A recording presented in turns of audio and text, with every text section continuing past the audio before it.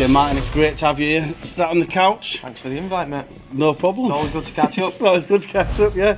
Not over a beer this time. Martin, tell us about your fights you've got lined up. You, let's let's get it out there for straight away. You've got a fight, a BAMMA world title defence. Uh, well, no, this, this isn't. Uh, th- this next fight's not a defence. It's another world title fight. I'm dropping down to featherweight to fight Ronnie Mann for the vacant featherweight world title. Um, I asked, I asked for Duquesnoy. You know, Tom Duquesnoy. I think that's how you say it.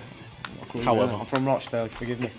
but um, obviously he's dropped down to bantamweight now. Would have been a good fight against him because he's from TriStar. And he's got a lot of hype around him. But he's dropped down. So it's going to be me and Ronnie Mann, uh, November 25th. Well, that's a very very experienced Yeah, yeah, yeah. fighter. Yeah. What, what do you know about him and how are you changing your training for? I ain't going to change my I won't change my training if I was fighting GSP, mate. I, I believe the way we train is the best way you can train. Um, the way we've got it set up at full contact performance and SPG. My training, I train all year round. You know, um, Ronnie Mann's an experienced guy. He's a jiu-jitsu black belt.